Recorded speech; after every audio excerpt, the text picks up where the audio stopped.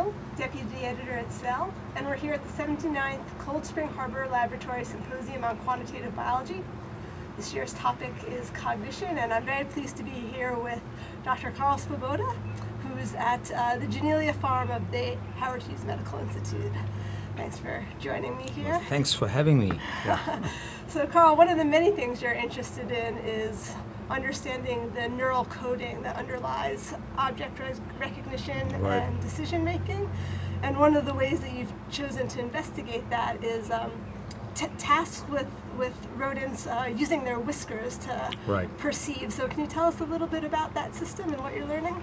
Yeah. So so so so mice very prominently other rodents who use their whiskers to explore the environment and um, seems like a weird system to study as opposed to, say, vision or touch through the paws. But it turns out to have some wonderful advantages and wonderful features for kind of detailed mechanistic analysis of basic cognitive processes like active sensation, perception, decision making. And, and one of the key uh, features is that the system is exquisitely mapped all the way into the cortex there's a kind of a one-to-one correspondence between individual whiskers and small groups of neurons that process information from that whisker. And if we can have the mouse do uh, behavior through individual whiskers, we know exactly where to look for the relevant information. So we can zoom in to the relevant neurons, we can manipulate, record and manipulate the relevant neurons, ask how manipulations have an impact on behavior, and be very quantitative about that. Um, you know, in general, in many other systems, so that kind of thing is a needle in the haystack problem, right? There are, it's very distributed. Here we know where to look.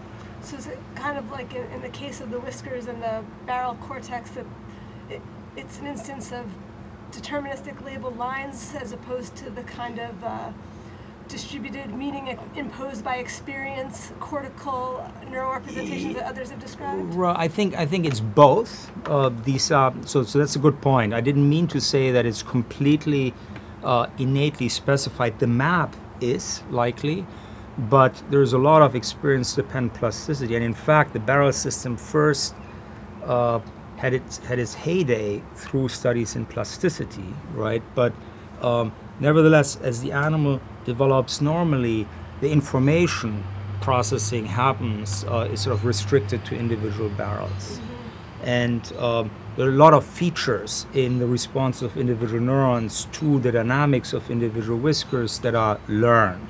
There's direction selective, different neurons show different rates of adaptation, and so on and so forth. There's a, there's a richness that, uh, that that's where the experience dependent plasticity comes in. But one can really, uh, we can have a sort of a comprehensive understanding of what the neural population is doing that processes information from, from, from one whisker. And, so what's the route from understanding the somatosensory perception to a decision-making process in that system? The way we interact with the world, right, is by we sweep our eyes over objects, over visual scenes to uh, basically extract the information that we'd like, right? In some sense, we, through visual search or through our digits, moving our digits, we actually produce input to the visual system. You probably know that the visual system is never studied that way because it's a very difficult thing to keep track of what exactly the monkey or the mouse looked at, right? So here in this system, we can study uh, uh, uh, decision making in the barrel cortex uh, in the context of active sensation, where the mouse moves its whisker to explore an object, to touch it, to palpate it, to learn about its location or its shape and so on and so forth, and then uh, judge object location um, in various ways. So we can study decision making in the context of active sensation. And so the kinds of questions you can ask is what is encoded in the barrel cortex, right? So you can ask about neural coding. What uh, so so as you know, information is carried by action potentials in the barrel cortex, spikes uh, in neurons, and you can ask questions about how action potentials, trains of action potentials, different neurons or trains of action potentials in different neurons encode information about where the whisker is, what the whisker touches, how the whisker is touched, how it is deformed. And um, then you can go one step further and actually manipulate the activity to ask not only what is encoded, but what the rest of the brain reads out from that activity, which is sort of the, the kinds of things that you can do here that's very difficult to do in other in other systems. That's why I think it really has a very very nice niche. And what are This- some of the techniques that you've developed to probe this last manipulation and readout part that you described? Right. So we we like uh, we we of course use electrophysiology extensively to learn what is encoded in the brain. So what kind of uh, what kind of tactile features, neurons, different kinds, specific types of neurons in the barrel cortex. Remember, the barrel cortex is still a complex. Each barrel is still a complex structure, about 10,000 neurons, at least 20 cell types, and so on, just to so that everyone understands that. But so we can ask uh, what is encoded in specific neurons using electrophysiology, and then uh, closed loop behavior and photostimulation using optogenetics. We can then perturb uh, these action potential trains in a very precise manner to uh, see if we can push perception one way or another. And that is really the arbiter of truth, right, about what uh, what actually is, is, is extracted by the animal from these action potential trains about the world. Yeah. So the, the, the action potentials lead me to sort of my next question, which is another thing you've been looking at is individual synapses, uh, Yeah. their plasticity and Right. their, their stability. So Right. tell us a little about that. Well, to tell you the truth, this is something that has been very much on the wane in the laboratory. Even though we've published a paper this year, that was pro- that experiment was probably done five or six years ago. So we've we've but uh, the experiments that you refer to really go back to my work at Cold Spring Harbor uh, in the in the uh, starting in the late uh, 1900s. uh, and uh, where uh, this is one of the first experiments I did when I started my lab here was looking for an important problem to address, and, and it was very much.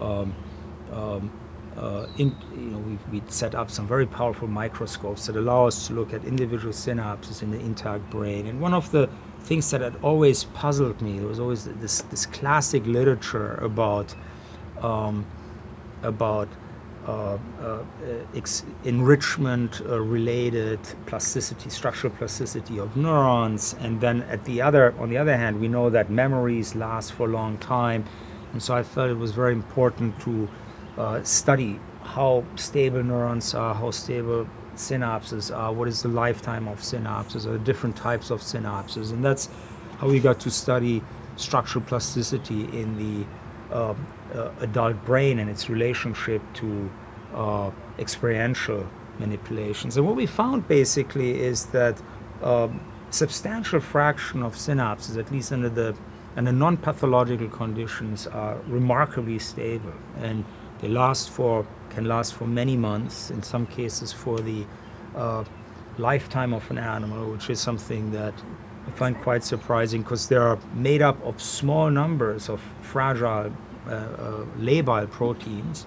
Still a mystery how that happens. But then uh, another fraction of uh, synapses turn over, they appear and disappear. And uh, that is modulated by experience. And it's also cell type specific. It, it happens at different rates, different synapses, thalamocortical synapses. Input to the cortex tend to be more stable than intracortical synapses and so on and so forth. And, and really, this study of structural plasticity and these cell type specific effects really got me very much interested in uh, circuits, um, really cortical circuits. How do they work? Um, because we could not put this into a functional context uh, without uh, really knowing more about how neurons are hooked up and what the logic of information processing is in cortical circuits. Do you Yeah. see the field of neural circuits and synaptic molecular biology uh, converging at some That's a point? in good, good. future? It's a really good point. I, I, I absolutely do, and I have, I have sort of a vision of coming back to it, right? So we have, uh, I've, I've dabbled in, in, in studying learning, in uh, uh, at the level of circuits and coding, and I've learned this is a very, very difficult, difficult endeavor. So we've sort of stepped back and, and study what I would call function. Uh, I want to go back and learn and, and, and develop good learning paradigms, for example, good motor learning paradigms, and then go in and dissect, look for really the engram at the level of uh, uh, defined synaptic pathways, right? We and we need to go there too beyond observation, right? Where we see a correlate of some synaptic change in a particular synaptic pathway. We have to really be able to show that those pathways and these changes at synapses are causally related to a memory, which is something that um, hopefully we'll get a handle on using molecular methods so, over the next decade or so. And that's when I'm ready to go back to it. Yeah. Well, I'm certainly uh, excited to, uh, to, to see the advent of uh, all those advances and, and those that'll come in the meantime, too. Thanks so much. Okay.